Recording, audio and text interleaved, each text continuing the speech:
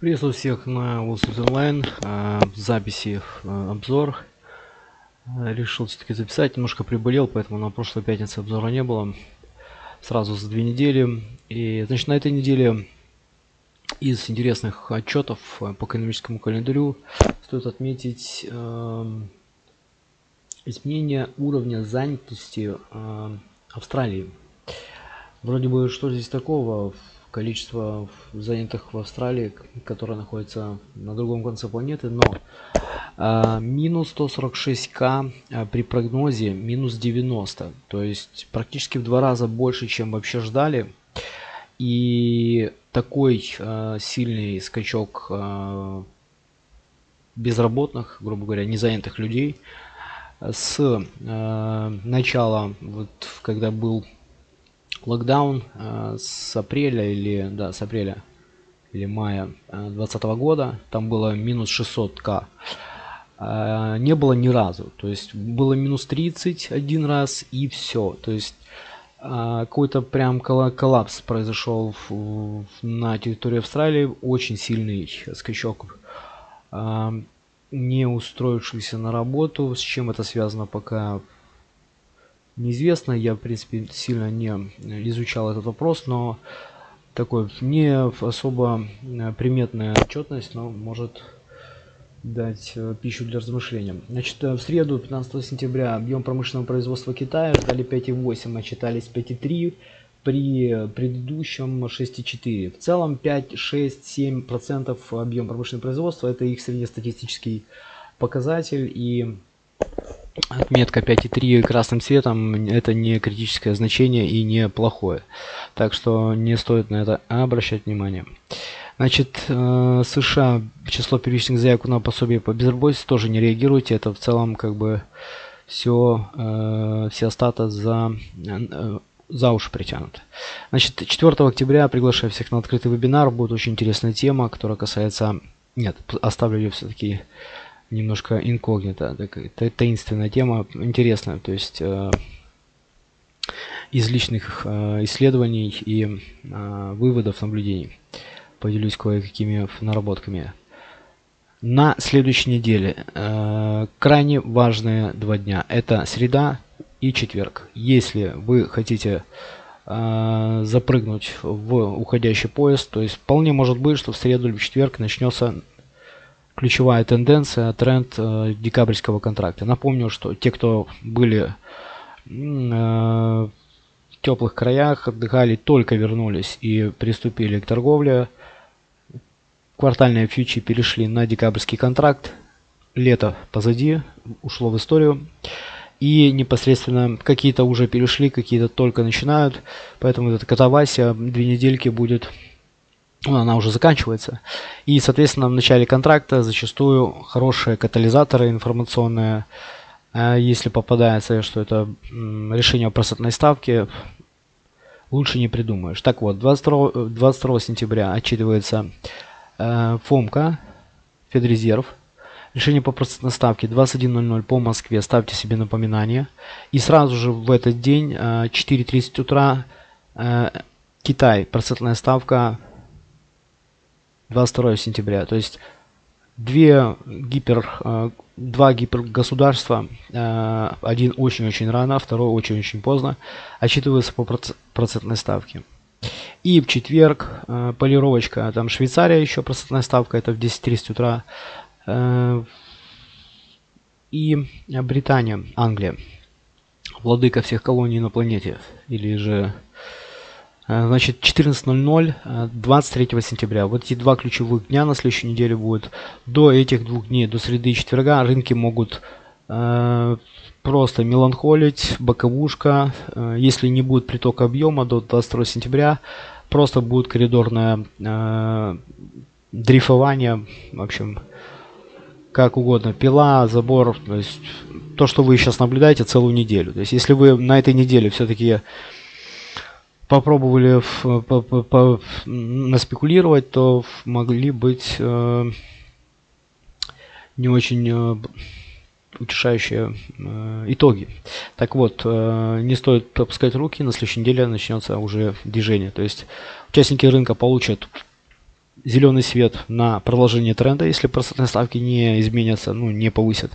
То есть, если оставляют на том же уровне, следуем тому же плану действий и, соответственно, дальше Э, в таком же духе. Э, соответственно, какая-то предварительная коррекция, сброс топорей. Те, кто все, если все набросятся на покупку без этого никак, то думайте своей головой. То есть обязательно все, всю толпу накажут, потом может пойдет, пойдет рост. Поэтому э, адаптируйтесь и быстро реагируйте на сильные изменения по волатильности. Вообще, в принципе, в среду заходить в позиции перед фомкой можно, но небольшим лотажом я бы, вот если бы рисковал, то небольшим лотажом. Где-то наверное, пятой части от всего э, объема, который выводит на рынок. То есть наша компания.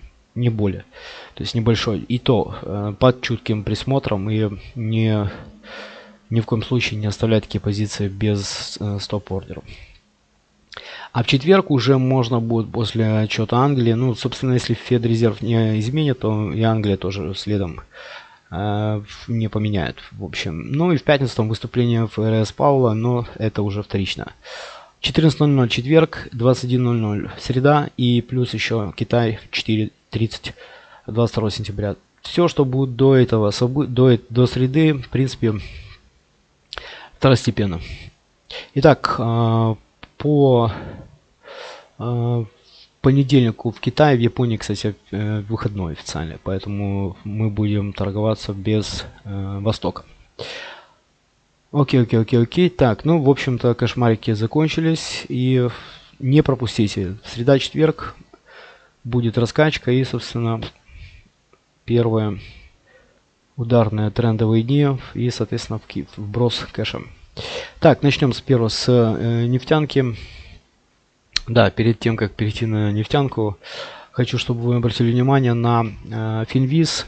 Ну, в общем, там э, по фондовому рынку потихонечку фиксится. В любом случае, кошмариус с э, локдауном, разные военные конфликты э, перед э, после, ну, после лета, в принципе, был такой более-менее щадящий рост, поэтому Фиксации на фондовом рынке вполне и сезонно, и в конце квартала это вполне в порядке вещей. Самое главное, чтобы они не, не были массовыми и по всем секторам. Так вот, из замеченного 16 нет, не 16 сентября, а Сергей Блин 13-10 сентября фиксился по своей компании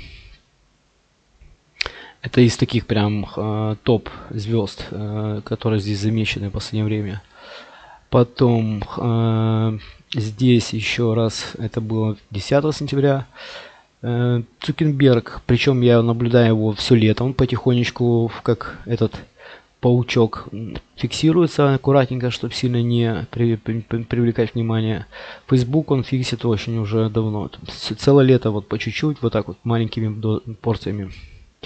Так, э, ну, в целом э, покупают биотехнологии, очень много и IT, IT сектора потихоньку фиксится, э, таких прям каких-то, значит, Скара, Сана покупает, то, что вот покупают сейчас.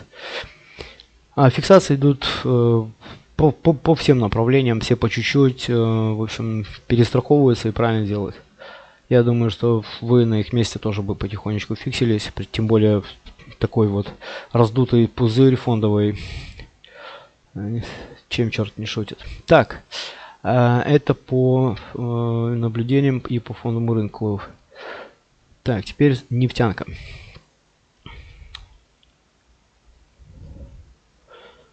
Э, кстати, из э, таких небольших вот исследований, наблюдений, э, Роснефть и Сбербанк с э, марта 2020 года в очень плотной корреляции, они прям не разлей вода. И э, те, кто ищет хорошие такие маячки с фондового рынка, обратите внимание на э, происходящее на Роснефти. Именно на стаке, не на фьюче, а именно посмотрите стак. Обратите внимание, это ликвидность, которая была в конце 2020 года. Вот здесь вот тарили в э, 3.84 то есть это все на покупку заходило. Вот это сессии, э, таймфрейм, дневной таймфрейм. То есть вот э, в конце 20 э, числа, то есть вот ноябрь это все дело прикупили. Перед зимой нормально, вполне адекватное решение.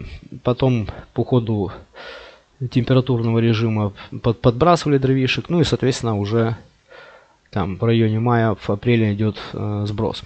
В районе июня. Вот пошел недельный фикс. Так вот, э, значит, объемы здесь э, в районе там 700к в кэше. В, э, вот такого формата у нас был оборот.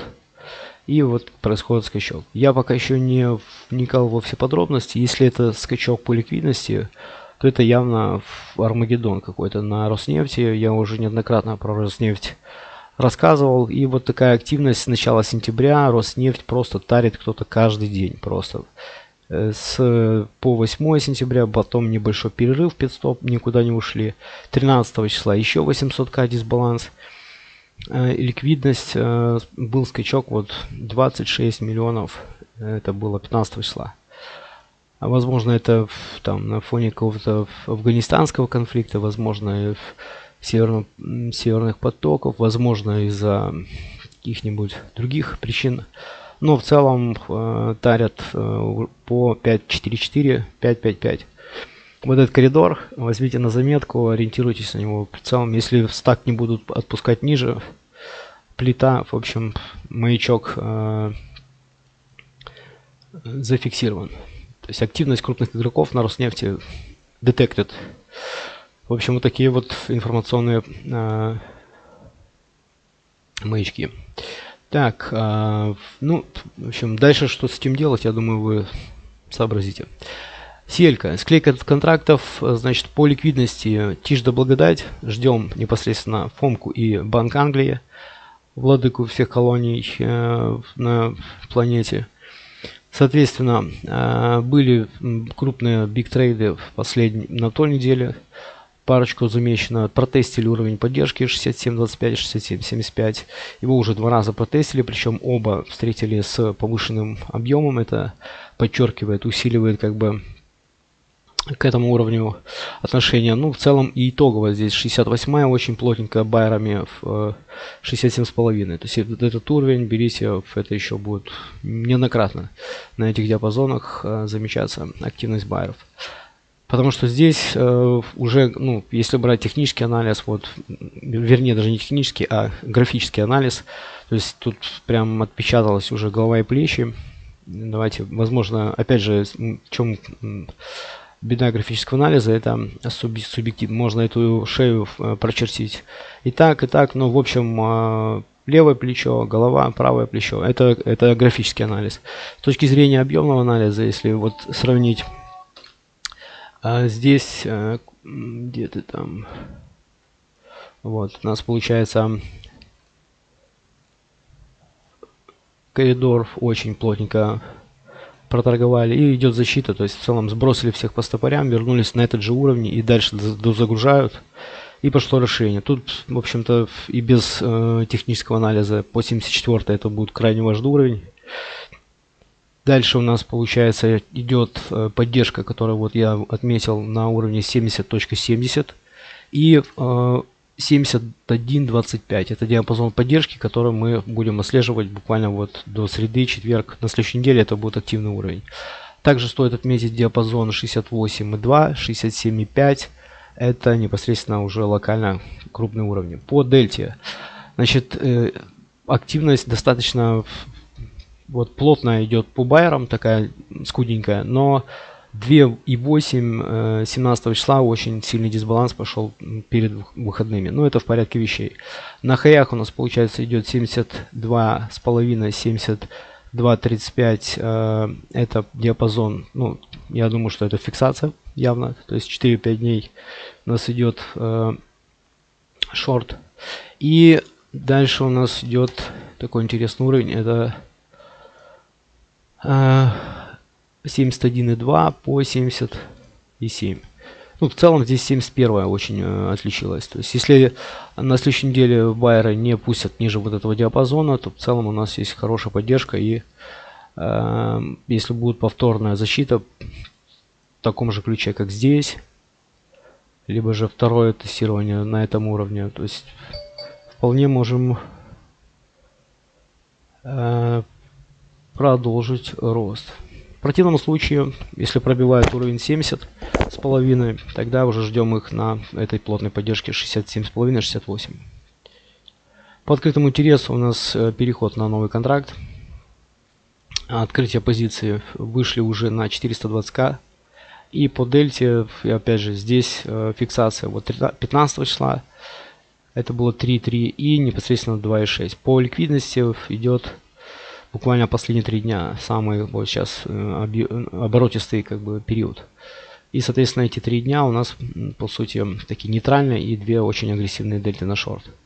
То есть вот на новом контракте с поставкой в ноябре идут вот такие уровни сопротивления 72,1 по 72,5. Это у нас идет очень жесткая локация на сопротивление на новом контракте. До этого была склейка. На новом контракте 71 тоже еще проторговали байеры, но не так ликвидно, как уровни на хаях.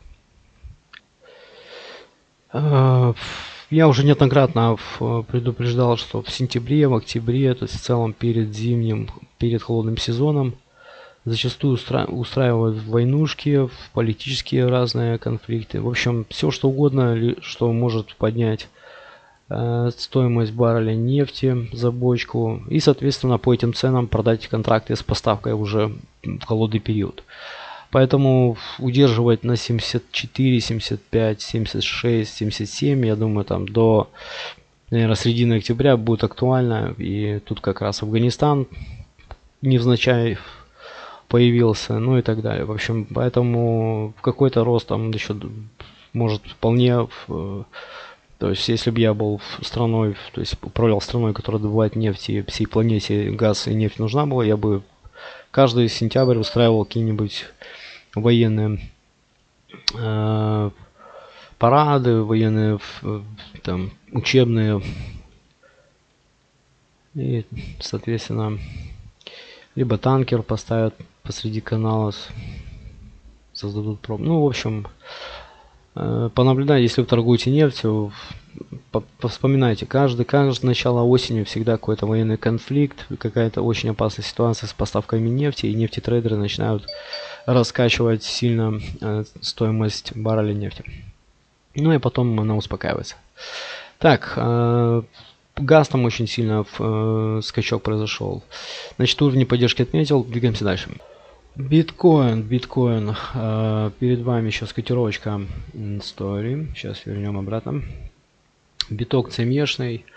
Э, по вашим просьбам можем, в принципе, вернуть э, бинансовый. Поток объема с бирж именно крипто. Но я пока склоняюсь к цемешной. Хотя, в принципе, там по общему анализу не сильно разнилась ситуация, где были там большие спросы, либо же предложения. Итак, э, здесь у нас сентябрьский контракт. Э, третью недельку торгуется в более-менее в своем среднестатистическом объеме подключился у нас пока 7 сентября такой резкий скачок причем э, ловили потом в конце дня весь объем там оставили э, на прошлой неделе как раз вот из 5 сессий 4 э, даже 3 сессии ушло на как бы, сбор всех селлеров которые запрыгнули на продажу и в общем-то если посмотреть по открытому интересу набор позиций уже в начале сентября делали. А, и ну, в связи с вот этим резким скачком, который явно всех немножко взбудоражил, э, кто-то зафиксировался, и видно, что по бигтрейтам большие точечные сбросы идут. Но потихонечку всю эту локацию выкупили и вот на этой неделе как раз три сессии даже немножко показали рост причем с ростом небольшим конечно но открытого интереса то есть если понаблюдать начало контракта они в аккурат немножко стартанули 44 до 48 потом немножко откатились и э, по дельте у нас получается конец э, августа раскачали потом э, в начале сентября 1 сентября закупочка была по дельте там 46 ну, там еще не полностью по объему перешли но уже были дисбалансы и непосредственно до 7 числа резкий сброс. Здесь началась лавина, э, у кого были покупки. Селл-маркеты начали простреливать. И тут по полнедели, грубо говоря, был разбор полетов. Всех аккуратненько подсобрали. Заметьте, что здесь даже есть итоговые, э, если включить по дельте, уровни, которые очень отчетливо. 46-ю, то есть круглые ценники собирали просто за милую душу. То есть вот даже вот весь этот э, шартовой как бы трехдневный э, Армагеддон. И вот 13 число, обратите внимание, ядро дня, два хороших уровня по 42 контрактика на покупочку, это 44 900. Потом у нас идет закрытие, правда, тяжелое, то есть не на хаях закрылись. А вот ударный 14, 14 сентября открылись. И просто вот как по ноткам закрылись практически у хаев дня. То же самое было и 15 сентября. Открылись и закрытие было хоть и не сильно волатильное, но э, прошли, расширили коридор на 50%, причем диапазона предыдущего дня и закрылись у потолка. Два хороших продуктивных дня, это реверсивные, то есть это цепочка из трех дней. После вот этого резкого, как бы, немножко э, встормошили, как бы, э, общественность, у кого какие сделки, э, чтобы проснулись, как бы, спекулянты. И, соответственно, опять подтарились. Вот такая вот сейчас картина наблюдается. 16 у нас получается после трехдневного зарабатывания денег как бы на росте идет адекватная фиксация. Да, и вот 17 числов, даже при всем при том, э, идет вроде нисходящая динамика, но она не сильно опасная, не сильно агрессивная, то есть не ударная. И э, дельта все равно на э, стороне байера по итогу пятницы. 47-250, грубо говоря, пускай будет даже 47, 47-100, это не столь критично. То есть ставим алерт на 48,5, это а, как раз перед процентными ставками, понедельник, вторник могут немножко обвернуться как раз 48 с половиной.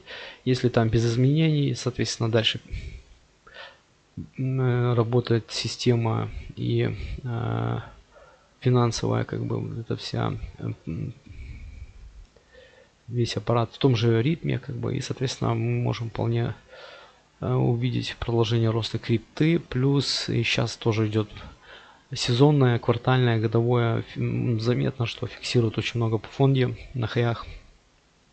Ну и явно, э, потирая ручки на, на заработанной прибыли, будут э, как минимум хотя бы пробовать э, инвестировать вот в новоиспеченную чудо-юдо криптовалюту. Поэтому какая-то денежка сюда тоже зайдет и явно раздует цену не только биткоина, я думаю, там и эфира и остальных как бы Э, именитых, известных и э, распиаренных э, электронных валют.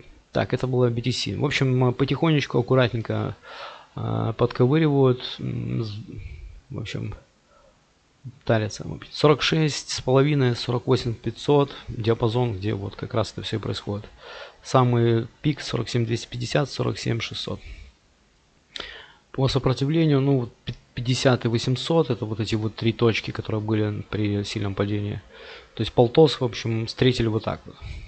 Поэтому вот этот коридор, если пройдет цена, ну, в целом, как бы, в среду, в четверг вы уже будете при, при деньгах. Если в понедельник зайдете, то есть если будет тест 46 700, 46 500 и будут защищать, можно запрыгнуть на покупку и уже ждать 48 500. Может быть волатильность по, по типу такой, поэтому будьте осторожны, это спекуляция и риски очень-очень высокие. Чем волатильнее и ажиотажнее торговый день, тем больше можно и заработать, и, ну и, соответственно, потерять. Если у вас есть хорошие стратегии, как обезопасить свои активы, соответственно, не пропустите среду, четверг. Ну или же потом прокатиться на остаточной импульсивности. Дальше у нас идет золото. На золоте тоже был пидстоп две недели, боковичок, вроде бы 1800 такой достаточно э, уже значимый интересный уровень. Ликвидность идет ровная, точно такая же, как на прошлой неделе, в районе там 150к, чуть меньше, после небольшого снижения с 18-25. То есть мы на этой локации уже стоим, наверное, месяц. То есть и это как бы, э, учитывая, что ценник баррель нефти уже за 70 перевалил. То есть вот эта локация, она торгуется, торгуется. Попробовали выше 1800 Нефть еще выше, окей, мы немножко откорректируемся, но в целом не упала лицом грязь. То есть вот этот рост, который начался еще с августа, практически там неделя пидстопа, расширение, неделя пидстопа, расширение, пока вот резко сбросили до 17.52, но, но, прошу заметить, что здесь, ну, просто идет как бы тест, кто у нас на рынке, судя по всему, то есть начало контракта, у кого позиция, кто-то еще не. Обратите внимание, что после вот этого резкого такого гэп гэпа фактически, значит, э, здесь 242 тонны оборот э, в сравнении с предыдущим днем 130. Это у нас э, декабрьский контракт. И по дельте, обратите внимание, вот этот весь 15 э, сентября тарится на бай, причем плотно, вот 17, вот под 1800 все скупили. 5 баксов ниже 1800 покупали. Ну и в принципе 14 числа там тоже не брезговали. До этого на той неделе тоже на этом же уровне идут покупки. Это было 8 сентября и отчетливо видно 9. То есть уровень тарят уже вторую неделю, но точно так же с криптой решили немножко вытрусить, ну, привлечь внимание, то есть, допустим, если начнется резкий обвал, начнутся Э, эмоциональные панические э, входы на продажу. То есть, а, все, те, кто э, сидит в медвежьей шкуре, соответственно, ждет вот таких сессий, как только они появляются, сразу же появляется такой э, первая мысль, все, я был прав, надо шортить. И они запрыгивают в эти шорты, если нет э, ну, вот, защитной э, стратегии, как потом выходить из этой обманной сессии, то есть, ну, ты неоднократно видел и сам такое уже на своей шкуре пробовал. Сразу не стоит на это все э, реагировать. Посмотрите, во-первых, как день-два еще торгуется, то есть не спешите. Вот, смотрите, три дня, то есть здесь покупают, вот это все, что летит вниз, покупают, причем на 6,7 дисбаланс. Это процентный перевес 2,8%, здесь 1,7 и 1,6 сегодня. То есть э, по открытому интересу даже прибавилась позиций, то есть у нас было 408 ну, на одну тысячу, но в принципе для такого падения даже открытый интерес вырос еще из дельта на бай. То есть в принципе неделю-то мы начали там 409, закончили 408. При таком резком движении особо открытый интерес даже не просел. Вот, э, значит, это вот из пяти сессий 3 на бай именно те, которые ушли на шорт. Локация на поддержку 17.57 я отметил, то есть четверг. Э, собирал все, что вот уронили, все, кто, все, кто покупатели фиксировались, их э, непосредственно эти все встречные ордера аккуратненько собрали. Значит, такой плотничок у нас имеется в 17. Э, Давайте лучше вот так сделаю, Вик. Вы сами определите, какие именно диапазоны вам нужны. Значит, вот э, плотничок один и второй вокруг э, около 1764. То есть здесь даже не около, а можно смело брать 61 по 68. Э, 78 тоже, ну здесь такое скудненькое. То есть вот этот вот 64 отметилась и 54. Вот эти две в 10 баксов. И, соответственно, коридор 89.95 тоже на этой неделе плотненько тарили, как и на прошлой. Вот, то есть вот этот выход из коридора сразу же все затарили на бай. Поэтому будет э, вполне э, ожидаемо, если цена в аккурат быстренько вернется в освояси, и мы их увидим на 17.90, потом 1800 и так далее. Поэтому в аккурат, если вы еще не в позиции, присмотритесь, вполне интересная э, ситуация, в момент можно попробовать. Если не пройдут э, три семерки, то есть 1, 3, 7, 7, ну это я уже э, немножко заигрываюсь. То есть в принципе 17.88, вот там где у нас селлеры были, 17.8 половиной, 17.83, то есть уровень сопротивления. Три семерки, тут тоже есть шарты небольшие. В общем, если коррекция будет до трех семерок и дальше не пустят, тогда покупки нужно точно без убыток переводить, либо частично фиксировать и спрыгивать с этой идеи, ждать уже 22-23 сентября. Опять же, напомню, что сейчас все рынки а, под, подходят именно к сентябрю 22-23. Две крупные страны, даже три. Китай, Англия и США а, огласят процентные ставки. Если без изменений, значит все идет в том же ключе, как и было до этого. В противном случае действуем согласно э, плану. То есть, если у нас есть, конечно. Так, рубль. Все ждали, все просили. Значит, рубль по открытому интересу у нас новый контракт декабрьский вот так мы э, про, э, провели лето. Просто такой с 72 с копейками на 73 с копейками. То есть фактически, э, можно сказать, гэп. Да, 74. И у нас по ликвидности.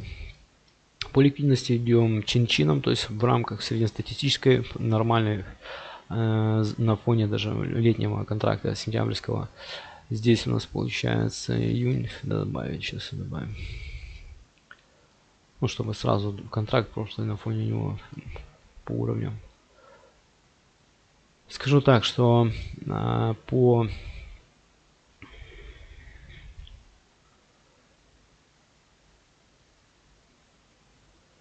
таргетам, вот я сейчас подгрузится. Если посмотреть э, цели по опционным уровням. Вот 97 500. Вот такие там огромные опционы стоят. И специально отметил 97 500 на данный момент. Просто там сам, самые крупные. Э, далее у нас получается э, это текущий декабрьский контракт. Вот буквально два дня, как только начали какие-то вообще э, торги идти. А, это свеже показываю. И они оба пока на покупку. То есть открытый интерес только начал появляться, они оба на покупку идут. Значит, э, мы сейчас будем смотреть склейку по рублю.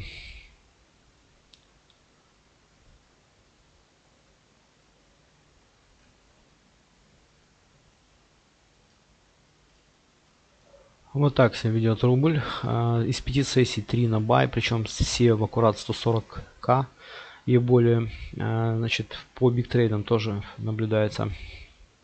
Ну, во-первых, смотрите, здесь идет э, скопление вот 72 500.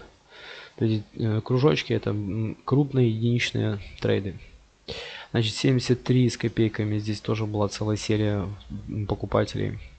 И вот у нас два дня э, в одну и ту же цену просто. Там 70 фактически 2 400 то есть коридор здесь не отличился. Потом идет 73 вот плюс-минус. И ценник 74 и летит летит летит. То есть вот этот уровень точно нужно брать на заметочку в как алертик э, уровень поддержки там в районе 130к значит э, по э, крупным э, трейдам э, у нас макс трейды на той неделе, вот 6-7 э, сентября, были по 5,7 и 200. Э, на этой неделе 4, ну, почти под пятерочку были, вот вчера, вот целая серия вот этих биг трейдов.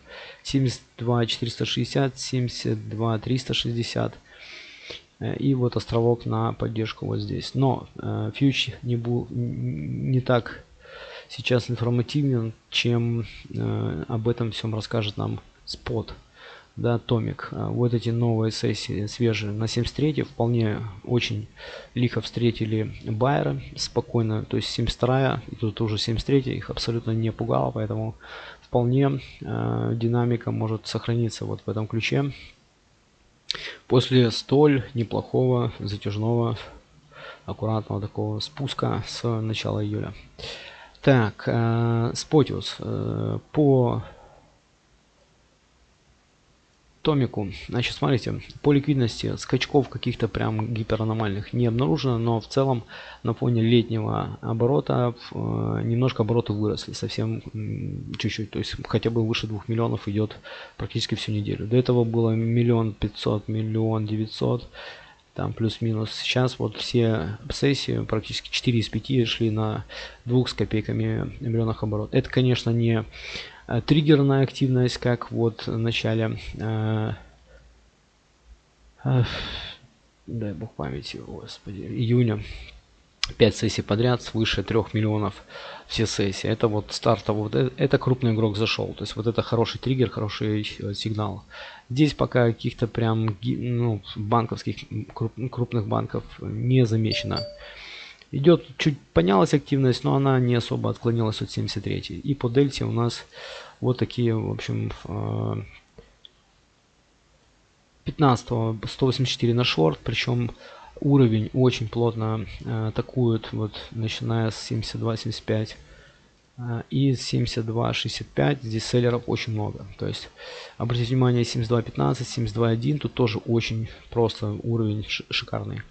Ценник добрался практически до 73, здесь просто целый э, блокпост байеров и 73 по 74, наверное, цена может очень легко пролететь без каких-либо проблем. То есть пятница у нас на байерах, закрываем, пятница закрывается на своем хае, но не на хай неделю, но в целом 73.25 вполне допустимая коррекция. Если отпустят рубль дальше, соответственно, будем лететь как минимум до 74. Если 74 даже не заметим, то у нас целый открытый коридор байеров до 75.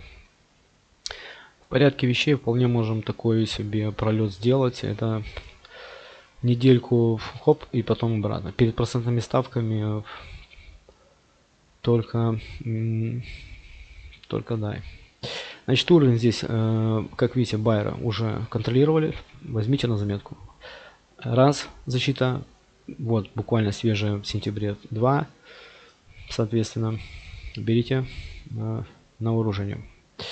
Так, и по э, просьбам не забуду, постараюсь не забыть РТС. Сейчас, где он тут родненький. Э, про Роснефть я сказал. Кто не смотрел с самого начала, перемотайте на начало. Я там интересную находку по Роснефти показал. И э, там же делайте выводы самостоятельно. Рекомендую сейчас быстренько прошурдить э, последние свежие объемные активности на фондовом рынке голубых фишек российского фондового, рынка. И, соответственно, сейчас подгрузится РТС.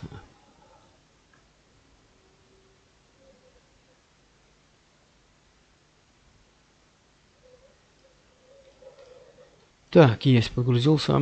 Э, по э, индексу РТС мы сейчас немножко тут приберемся.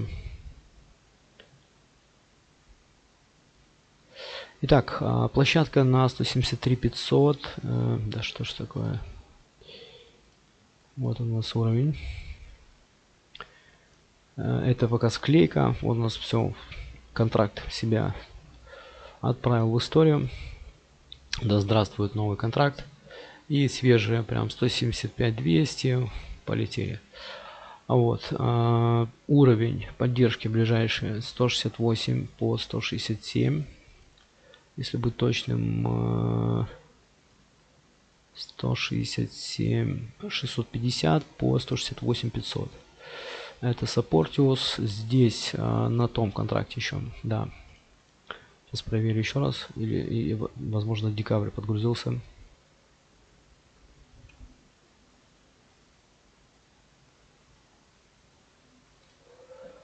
Так, это уже свежие уровни. Да, вот они. А, так, так, так, так, так, так, так. Да, тоже новый контракт торгуется абсолютно по другой цене и соответственно уровни немножко отличаются. Три как ну только три дня вот как объемы вообще зашли на декабрьский поэтому возвращаемся к склейке. Тут в принципе пока он не торгуется после процентных ставок локаций как таких э, особо нету плотных. За неделю у нас ядро получилось 174 э, по 173 э, цена пока вот атакует прошлую неделю это 172 300 по 172 800 причем с дельтой у нас получается ну байер здесь три недели к ряду вот 173 как видите здесь внутри ядра э, ну как бы не отпускает из виду не упускает точно. Значит здесь мы отметим сейчас 172 500 172 250 то есть здесь байеры очень часто проявляют свою активность по дельте также Сейчас вот отключу неделю. Плотничок. Вполне можем еще спасти ситуацию, если будут э, возвращать цену на 173. То есть вот это мог быть вполне в, э, тест всех байеров, которые были еще вот с прошлого контракта уровень, то есть они затарятся повторно, и вот диапазон 173, 172, 500. Если у них получается затариться, давайте посмотрим по дельте, что у нас тут. Да, они тарились на бай, все в принципе в рамках э, нормы.